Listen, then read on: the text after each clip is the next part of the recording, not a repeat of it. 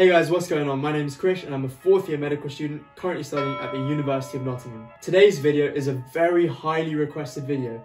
So on this channel, now I'm bringing you a brand new series of how to make Anki flashcards.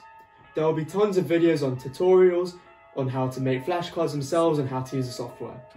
So without further ado, let's get right into the video. Pull up, pull up in the gold, I'm leading.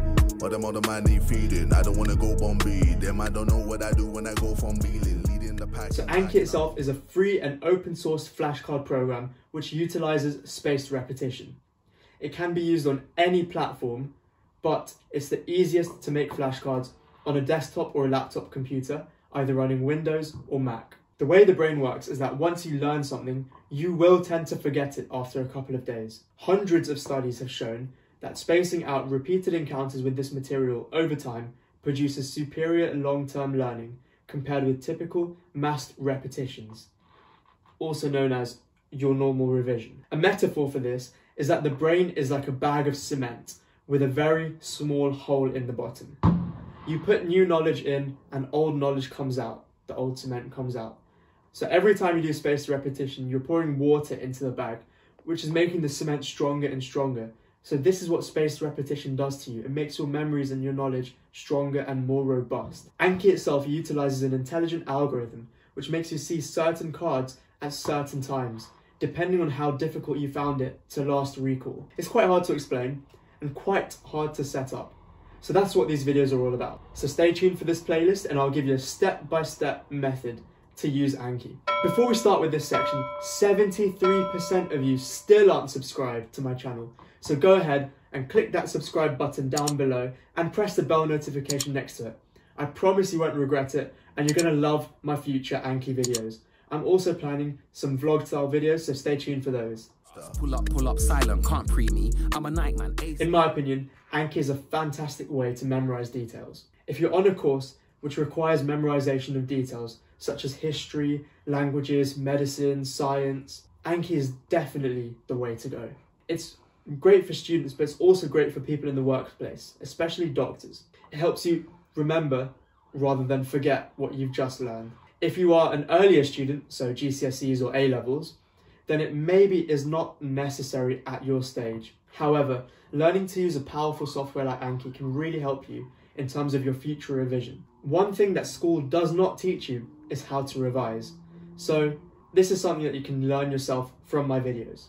Pull up, pull up, silent, can't pre me. I'm a nightman, AC. So there are a few different alternatives to Anki in terms of flashcards.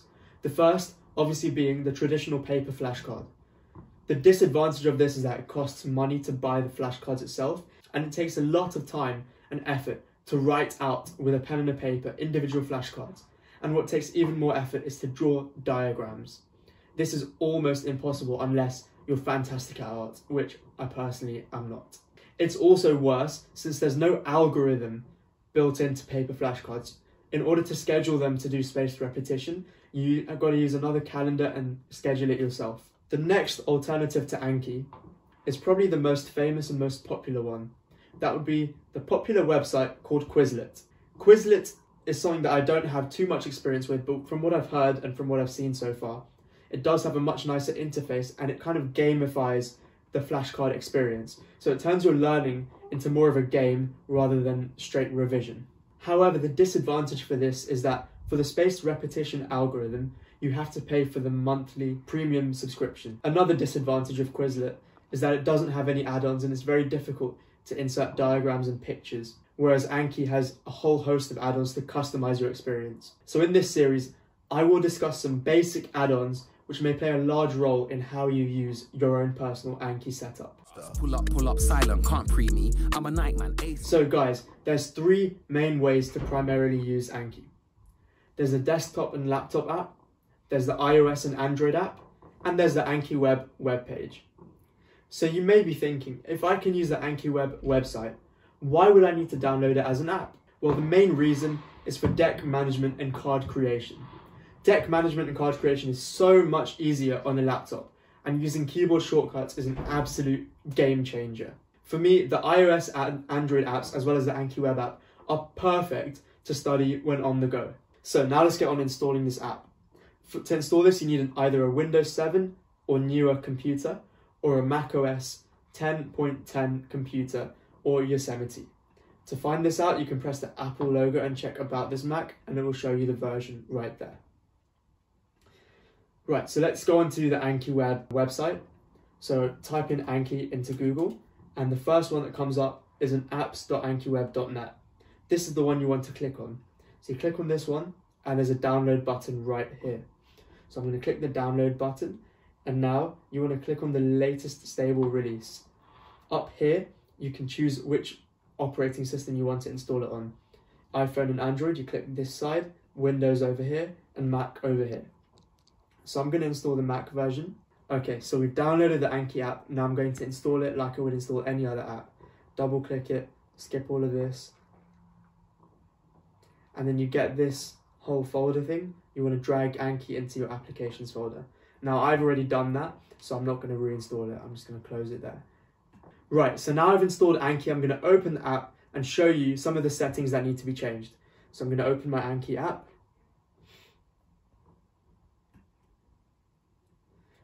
As you can see here, I already have a, a bunch of decks. This is some of the studying that I've done before, and I've got some other stuff which you may not have initially. These are some add-ons, don't worry about that for now. We'll go through that later.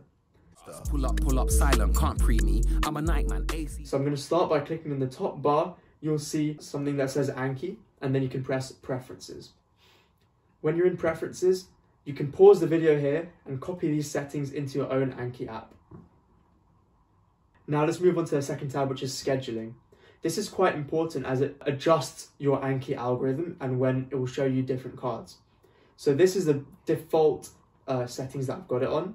I changed the next day starts to four hours past midnight because I do have a tendency to study quite late past midnight and I want that to count for the same day. I don't reckon I study past 4 a.m. much, so I count 4 a.m. as the start of a new day. So this is the network settings. These are kind of not that important, and these are just the standard settings and backups as well. Don't want freebies. SJWs can't PC me. Now let's look at the different add-ons. If you click on the toolbar where it says Tools, you can press Add-ons, or you can press Shift, Command, and A to access your add-ons tab. You can see here that I've got four different add-ons. I've got the God Mode add-on, image occlusion add-on, the review heat map add-on, and the speed focus mode add-on. The God mode add-on just adds some more keyboard shortcuts into your arsenal. This means that when you're creating a certain type of flashcard called the cloze deletion flashcard, you can use keyboard shortcuts and it becomes a lot easier. I'll talk about the types of flashcards a bit later on in this video. The second add-on that I've got is called Image Occlusion Enhanced. Now this add-on lets you create a different type of flashcard which I use for my anatomy and for diagrams. I'll talk about those flashcards later on in the video as well, but what I have is that there's a diagram and this add-on lets me blank out certain parts of a diagram. The third add-on is the review heat map, which is this map down below. It just shows you when you've been studying Anki and it shows you your streak of how many days you've been studying it. Ignore the fact that I've got a zero day streak at the moment but soon I'll be back on my study and grind. The last add-on that I've got is a speed focus mode add-on. What this will do is when you're going through your flashcards, it will automatically play an alert after a set number of seconds, and then it can also automatically show the answer after a set number of seconds as well. This is good for zooming through your flashcards and doing them extremely quickly. What I say, SMD, please didn't do nothing last time, man. CA. So there's a few different types of flashcards that I personally tend to use. The first type is the basic question and answer card type. This is the default card type in Anki. Here is an example of one of these cards. I use this type for questions which have simple one word answers, and if you study medicine, you'll know that this simply is not the case most of the time. The second type of flashcard is the cloze deletion card. This is basically like a fill in the blanks card. I primarily use these cards and just copy and paste my notes into a card and blank out the keywords. Here is an example. I know this looks like a massive card, but what I've done here is that I've taken a section about a certain STI and just blanked out all the relevant keywords. Each time Anki asks me the question, it gives me a different keyword from that card. The final type of card is an image occlusion card which is where the labels are hidden. Here is an anatomy example of it. What I do is I take a screenshot from the textbook or from Google Images and then cover up the labels so that in every card I have to guess one certain label from the actual diagram. I also rarely use this for tables in textbooks. So when there's a table and I have to memorize certain columns, I can use these flashcards to blank out a certain cell within the table. Pull up, pull up, silent, can't pre me. I'm a nightman. So that concludes this first ever Anki tutorial on my channel. If you liked it, please leave a like down below and press the subscribe button and stick around for more content. In the next video, I will be showing you how I personally create my own flashcards and then the video after that I'll show you how I go through the flashcards. So make sure to stick around and I'll catch you guys in the next video.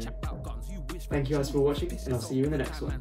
Adios. As I say bonjour fam, wee wee, pull up, pull up them stats and see please. On road, online and TV, do rag, cane roll or big greasy, afro like risky rose DVD. You're a Game Boy color, I'm PC, you can take part.